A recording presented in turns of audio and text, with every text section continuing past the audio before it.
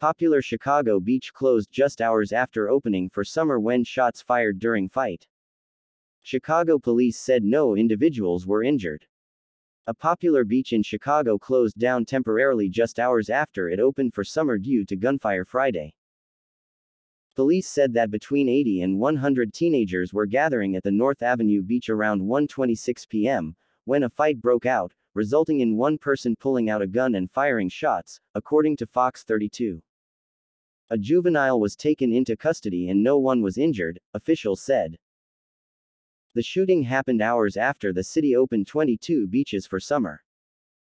It also comes on the heels of Memorial Day weekend, where officials are trying to avoid a repeat of last year, when nine people were killed and 42 people were injured in shootings across Chicago during the holiday weekend. Police said that the beach will be closed indefinitely and are searching bags at checkpoints along the city's beachfront.